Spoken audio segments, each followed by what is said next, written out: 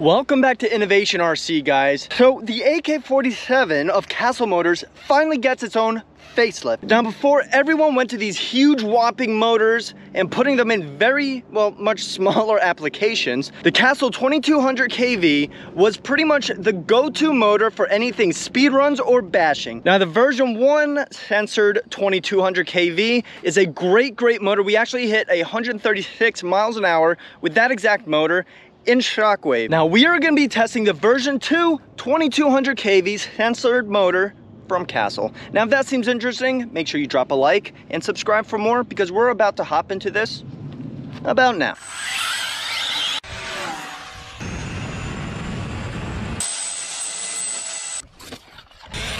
Whoa.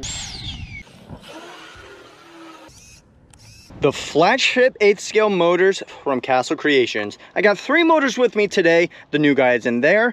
And we have the original 2200 kV, from Castle. And this is also the sensored, but this is a version one. Now, what's different between, well, this motor and that motor? They're both 15 series, except this is a 1512 1800 kV. Now, this guy's actually ran in the track Typhon, basically for track purposes, exactly for that reason. Now, I'm gonna show you the difference between what's in there and what I have in my hand here. This is a version one inside here.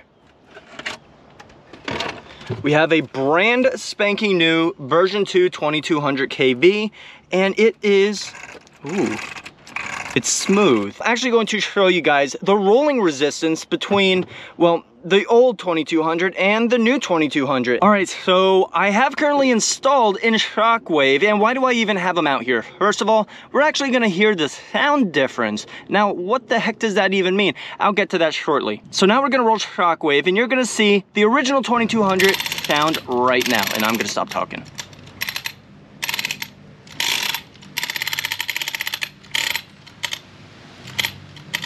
All right, now I have the brand new version 2 2200 kV, and I'm also going to roll it in Shockwave, and we're gonna see the rolling resistance of that.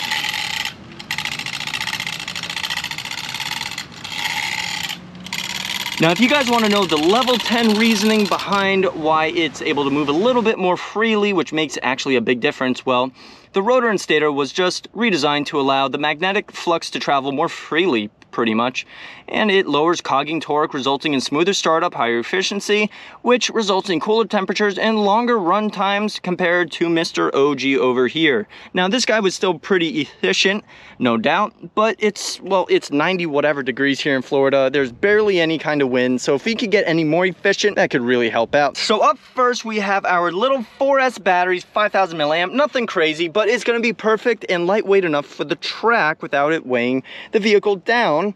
Uh, so we're going to be running around a little bit on 4SF first, and then we're going to be bashing and thrashing with this monstrosity of a 6S 6000 milliamp. This guy has actually been in my arsenal for about two and a half years now, and he's still going pretty strong.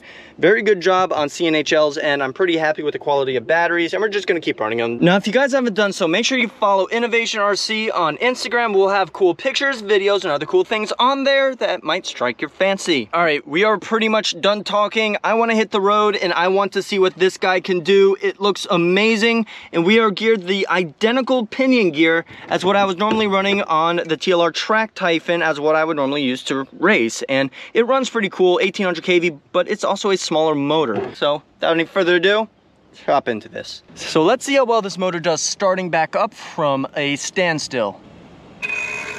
Trying to go as slow as I can. That's basically crawling. That's really cool.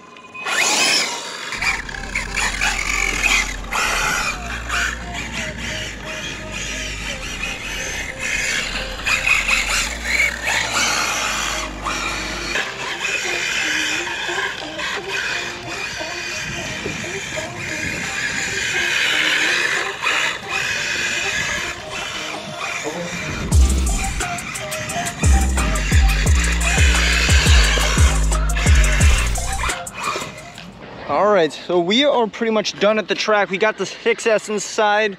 Sounds like there's a jet up there. Oh, there is, check that out. It's a real turbine jet. Wow. That is so cool. 6S Typhon on 6S finally. Damn, it's almost popping a wheelie. Look at that. Oh my God. That is insane how much torque there is. Jesus. Holy moly. On 6S, that's insane.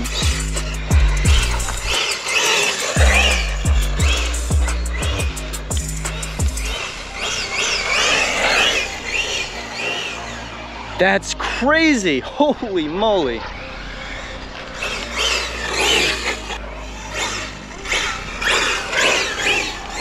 Jesus, that's insane.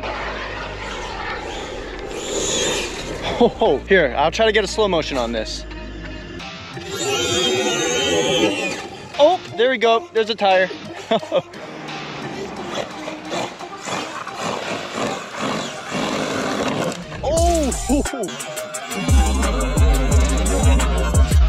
Oh! Dang. All right, well, might as well finish them off.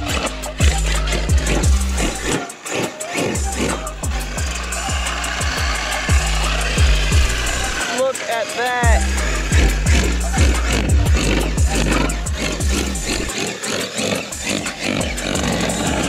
Oh my god, it was driving upside down. Well, I guess we can say the motor's got some balls, and honestly, Castle knocked it out of the park again. This was a facelift that this 2200 definitely needed. Look at that. That's some good steering right there. We blew the tires completely off. Well, I'm pretty sure this motor needs a break, so we're gonna call it quits for now. And honestly, as soon as we get new tires, we're gonna throw them back on and head right back out with this big old 6S. I really appreciate you guys watching. And if you enjoyed this video, make sure you drop a like and subscribe for more because we're probably gonna wanna blow up more tires. I actually kind of had fun doing that. I'm certainly gonna say, if you guys put a really high powered setup in there, certainly be careful. When these tires wanna blow out and flings the rubber at over like 100 miles an hour, flinging the rubber at 100 miles an hour. The car wasn't doing that, but the tires can definitely fling something out at a much higher speed than what the vehicle is doing, so make sure you stay safe out there. Well, I actually wanted to say that after, but anyway, make sure you stay safe and have a good one, guys.